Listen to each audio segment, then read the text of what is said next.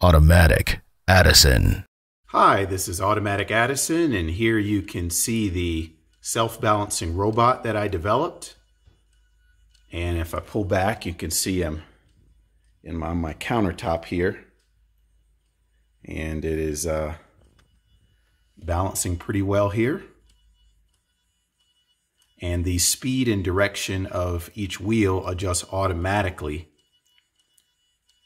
to account for the difference in the tilt angle of the robot. So when the robot's just about to fall over, it goes forward. It's about to fall over forward. And when it's just about to fall over backwards due to gravity, the wheels turn backwards. It makes continual adjustments to make sure that the tilt angle is around zero.